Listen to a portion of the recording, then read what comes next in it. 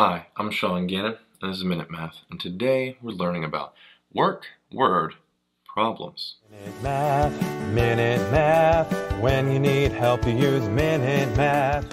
We're given this problem right here. Working alone, Mary and Trevon can inflate 20 balloons in 7.34 minutes. Had he done it alone, it would have taken Trevon 14.1 minutes. How long would it take Mary to do it alone? Okay, so let's write down what we know. We know the work of inflating 20 balloons is equal to Trevon's rate times 14.1 minutes. They tell us if Mary had done it alone, well that's what we want to find. So the work is equal to Mary's rate times time. So we don't really know that information there. But we know that they did it together, the work of 20 balloons, and we had Mary's rate plus Trevon's rate, it took them a total of 7.34 minutes.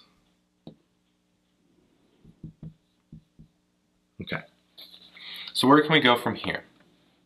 Well, this equation, kind of wrote it kind of close here, but 20 equals t times 14.1.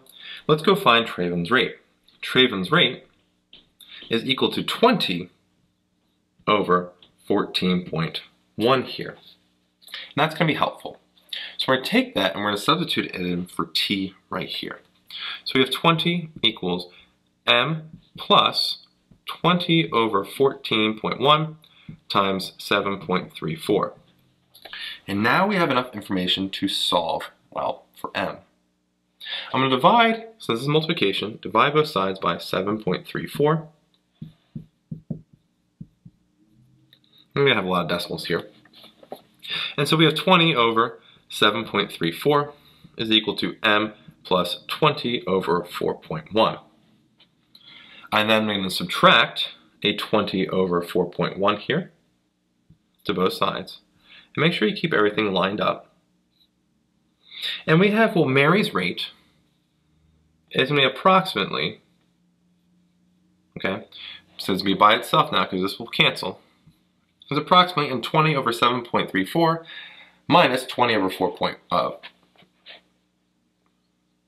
14.1. Oof, if you caught that mistake, let me know. Be careful, sorry about that. It is 14.1 down here in the denominator, so make sure you fix that or add that if you've been following along. Sorry about that. But we all make mistakes, all right? So give me a like for that. Don't just show all the good stuff. All right. Well, that comes out to be when we subtract them, a approximately 1.306. All right, so what can we do here? Well, we know Mary's rate here. We, when we found Mary's rate, and we actually know the work is going to be 20 balloons. So 20 balloons is equal to 1.306 times times, and we're substituting that in here. So now time by itself, we divide by 1.306 to both sides, in Mary's time, it takes her to blow up the 20 balloons, inflate 20 balloons, is approximately 15.31 minutes. And that is our final answer. Hope this video was helpful, and if it was, please subscribe to this YouTube channel and like this video.